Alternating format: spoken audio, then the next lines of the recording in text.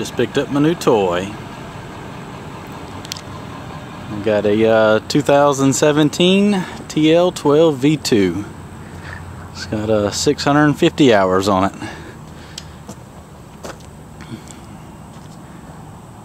Alright, taking it straight to the job site.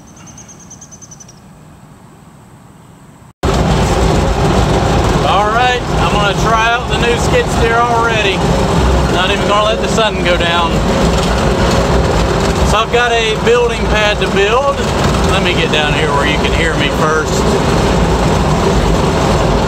I, uh, I come out here the other day and scrape the grass off. It's a 40 by 60 barn pad. I've got to bring in around 240 tons of fill, I think, is what I figured. Uh, from there to over there is about two and a half feet of fall. Get this leveled up. It's actually staked out at 46 by 66 to get a three foot perimeter around it.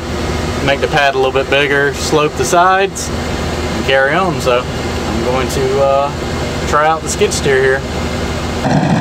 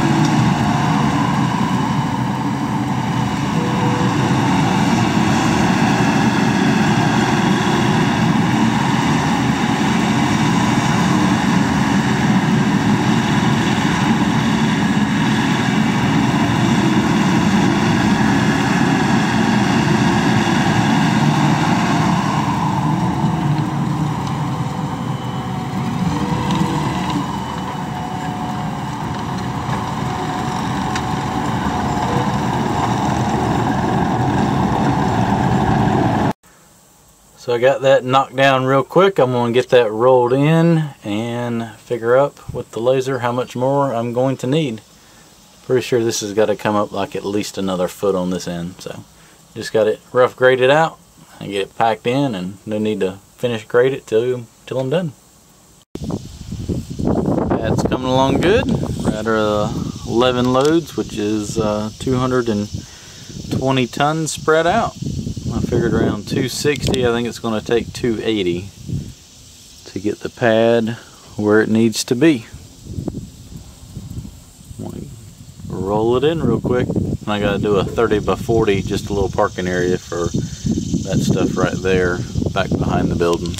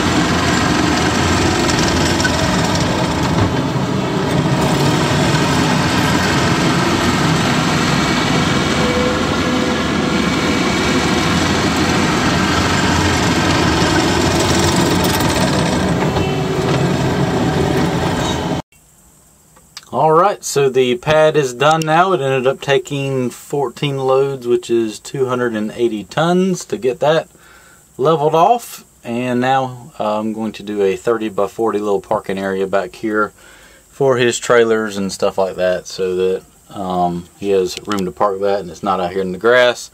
Uh, he went and grabbed some fabric to put down so that hopefully it'll deter the grass from coming back through and uh, I'm gonna get that spread out rolled in everything dressed up. And all done. 46 by 66 pad ended up being about three foot of fill in the back corner right here. So we got all that graded out and rolled in and made it three feet bigger all the way around. And ended up doing a 30 by 40 pad down here for our parking area I just took all the extra grass and topsoil, used it for the slope, and once there the building's built, just come in here and regrade it out and backfill around it.